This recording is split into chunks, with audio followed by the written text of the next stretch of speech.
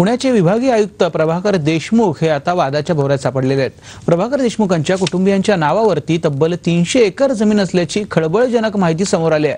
सातारा जिल्ह्यातल्या ठोसेघर धबधब्याजवळच्या जांभे गावात देशमुख कुटुंबियांनी तब्बल तीनशे एकर जमीन खरेदी केली आहे. खरेदी केलेली जमीन पत्नी आणि मुलं आणि तसंच मेहुण्याच्या नावावरती खरेदी करण्यात आली आहे. ही जमीन खरं तर जांभे गावातल्या शेतकऱ्यांच्या नावावर होती. पण तलाठ्यांनी हीच जमीन परस्पर सातबाऱ्यावरती फेरफार करून अभयसिंह पाटणकर यांच्या नावावरती केली. आणि अभयसिंह यांनी ती जमीन दोन कोटींना देशमुख कुटुंबियांना विकून टाकली. विशेष म्हणजे हे नियमित करून घ्यायला देखील ते विसरले नाहीत.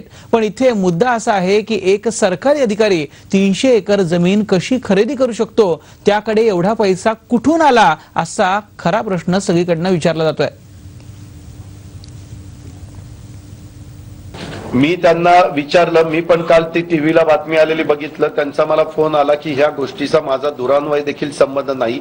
मी त्या चॅनलच्या संपादकांशी स्वतः बोललो असं प्रभाकर देशमुखांनी मला सांगितलं. ते म्हणले मी त्यांनाही सांगितलं की माझा त्याच्याशी काही संबंध नाही माझ्या नावावरती जमीन नाहीये.